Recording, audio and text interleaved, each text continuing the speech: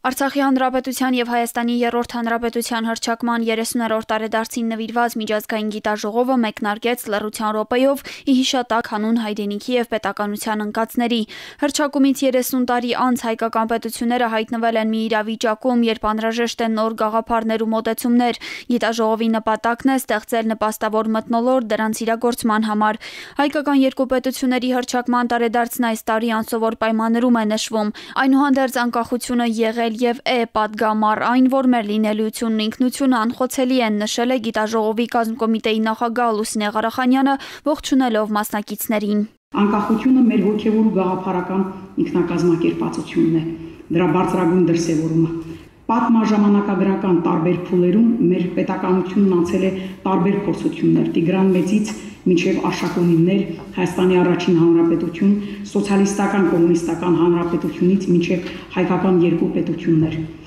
Միջազգային ներկայացուցչական գիտաժողովներ Արցախում շատ են կազմակերպվել, բայց հատկապես ներկա իրավիճակում Արցախում նման միջոցառում անցկացնելը կարևոր է։ Այդ կապակցությամբ Հանրապետության նախագահ Հարությունյանը գոհնակություն է հայտնել գիտաժողովի մասնակիցներին։ Ողջույնի խոսքը ներկայացրել է նախագահի խոսնակ Լուսինե Ավանեսյանը։ Կարևորը, որովհետև գիտաժողովը նվիրված է հայ ժողովրդի պատմության երկու ոչժորոշ եւ շրջադարձային իրադարձությունների, որոնք հարմատապես փոխեցին մեր հետագա ընթացքը։ Եվ այն ուսումնասիրելու, վերլուծելու, քննարկելու, դասեր քաղելու համար լավ հնարավորություն են ընձեռում նաեւ նման հարթակները։ 30 տարի առաջ Հայաստանն ու Արցախը կատարեցին պատմական ընտրություն, հոգուտ ազատ, անկախ եւ ինքնիշխան պետության, հոգուտ մեր բախերի հողում խաղաղ ու հանգիստ ապրելու, արարելու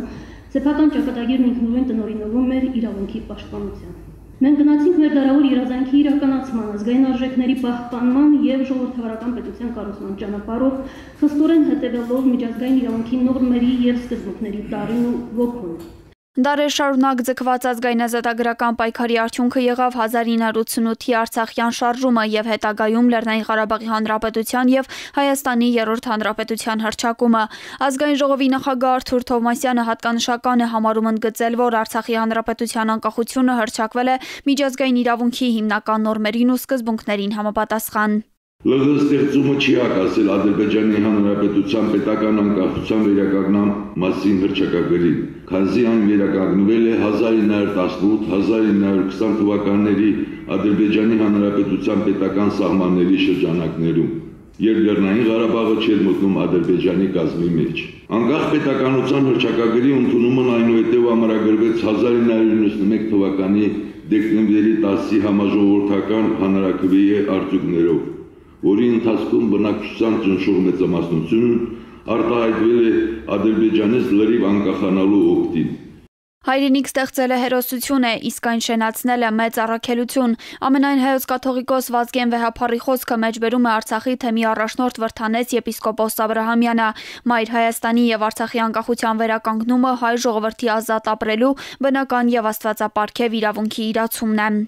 Գիտաժողովի շուրջ 3 տասնյակ մասնակիցներն իրենց զեկույցներում անդրադարձան հայկական զույգ պետությունների ձեռքբերումներին ու կորուստներին, հայ-ադրբեջանական հին ու նոր խնդիրներին ու պատերազմից հետո ձևավոր ձևավորված համահայկական օրակարգին։ Հայաստանի Հանրապետության Գիտությունների ազգային ակադեմիայի ակադեմիկոս Աշոտ Մելքոնյանի զեկույցը Արցախը հայոց պետականության հոլովույթում թեմայով էր։ Հայ պատմագիտության մեջ կա կարծիք, որ Հայաստանը դարեր շարունակ պետականություն չի ունեցել եւ սա դարձել է դասագրքային ճշմարտություն, որն իրականում թյուրիմացություն է։ Ակադեմիկոսի նպատակն է ցույց տալ ուղիղ հակառակը։ Կան ժամանակաշրջաններ, որ մենք պետականություն չենք ունեցել, բայց հիմնականում պետականության շղթան 5000-ամյա, երրորդ հազարամյակի կեսերից մինչև այսօր շարունակվում է։ Եվ այդ ընդհանուր շղթայի մեջ Արցախը իր պատվավոր տեղն ու դերն ունի։ Այո, Արցախը եւ Սյունիքը այդ պետականության ողնաշարն են կազմել, որտեղ գոնե տեղայնական մակարդակով այդ պետականությունը պահպանելու առումով արևելյան Հայաստանի կյանքում այդ երկու կարևոր տարածաշրջանները շատ մեծ դերակատարություն են ունեցել։